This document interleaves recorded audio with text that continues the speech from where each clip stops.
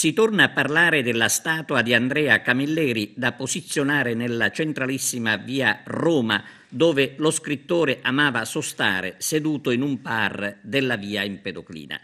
Ed è nei pressi del bar che dovrebbe sorgere la statua della quale si era parlato a settembre nel giorno in cui lo scrittore avrebbe compiuto 94 anni.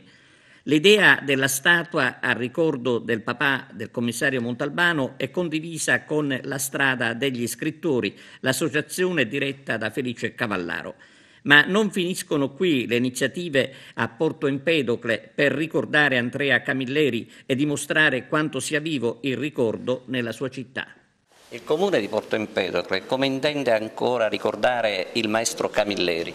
Beh, eh, sicuramente è sempre presente nelle, nei nostri pensieri, eh, certamente abbiamo me in mente di fare una statua, eh, ci stiamo adoperando in eh, tal senso, lo pensiamo di collocarla in via Roma dove lui eh, sedeva sempre, soleva sedere, ritraerlo in un'immagine di vita. E poi gli dedicheremo il posto che a Porto Empedocle lui amava di più, che era l'ingresso del porto, secondo quanto ci ha detto la figlia Andreina ringrazio eh, la casa editrice Sellerio per questa bella donazione che ha fatto al nostro paese e di